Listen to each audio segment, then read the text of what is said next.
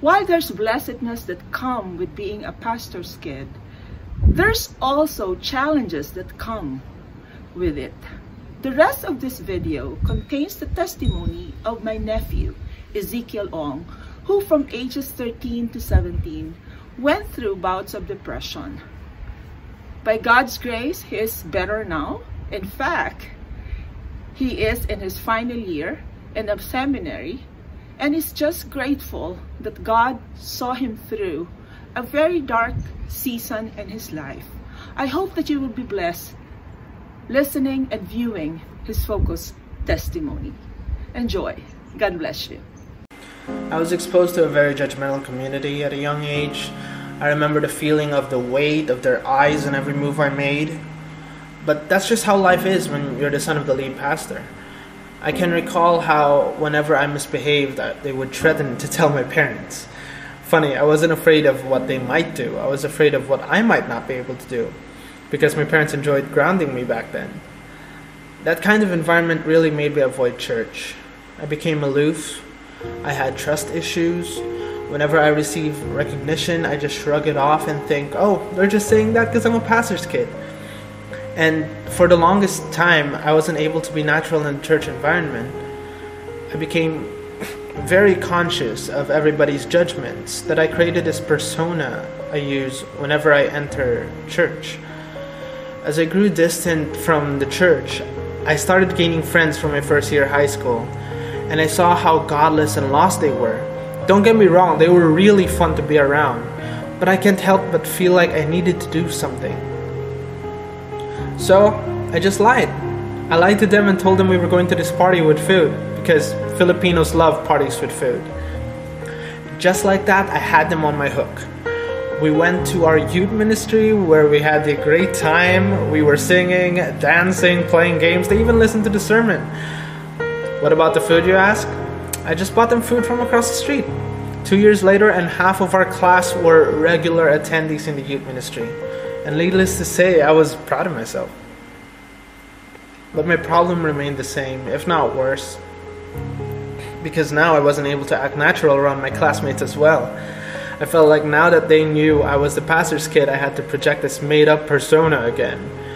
And I'm sure I didn't even realize I was projecting a persona when I did, even though the church wasn't as it was back then. I still put up that fake persona. Eventually, I opened up to my leader and said everything. I said I felt like I was hardwired to act a certain way when I'm around certain people. It's why I couldn't feel the love and support from my friends in church because they weren't loving and supporting the real me.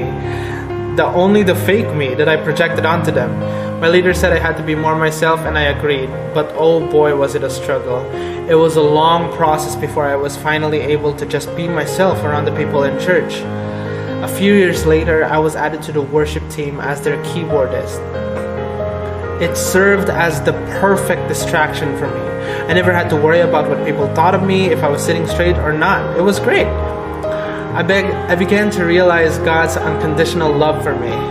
It's not about who I am or what I do or don't do. He loves me relentlessly, just as I am. God never called me by my title, but by my name. After my leader told me to be myself in the community, he soon left us, and as the days went by, I slowly became the authentic me that I wanted to be. And I don't think I even realized it. As I began to rest in God's love for me, I began to see the many blessings and advantages of being a pastor's kid. There are times when people would still use the line, You are a pastor's kid, therefore, but I choose not to be affected anymore. Anyways, I've been babbling for far too long. My name is Ezekiel Ong. Thank you for listening to my focus testimony. Zeke's story resonated with you. Like Zeke, you are projecting a persona that is not the real you. And as a result, you feel a sadness, a loneliness in your heart. If you are that kind of person, I want to pray for you today. Father, in the name of Jesus, I pray for whoever is watching this video, Lord God, who is feeling so empty because he is not receiving the love that he wants. Give this person the courage to be true to who he is. and to be true to who she is. Lord, I pray that they will know you as their personal Lord and Savior. And while I was saying that, you're saying, Yes, I want to know you as my Lord and Savior. Pray this short prayer with me. Jesus, I come to you. I ask you to come into my heart as my Lord and Savior. Save me from my sadness. Save me from my sins. Forgive me and cleanse me from all kinds of wrongdoings, from all kinds of unrighteousness. Be my Lord and Savior and guide me today. Give me the courage to live a life that is devoid of fakeness. Instead, help me to walk in truth and in search of your goodness and love for me. Amen.